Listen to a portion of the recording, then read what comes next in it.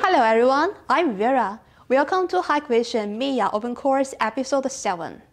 NVR is not a stranger to us. I believe that you already heard, learned, and used it for a long time.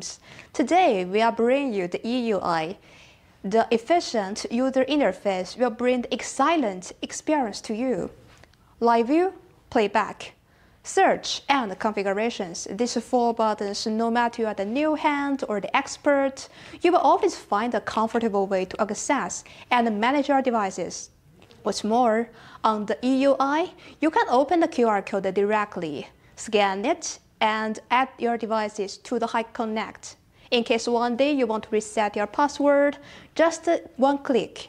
Then you can reset in your password by the HikConnect or reserved email address.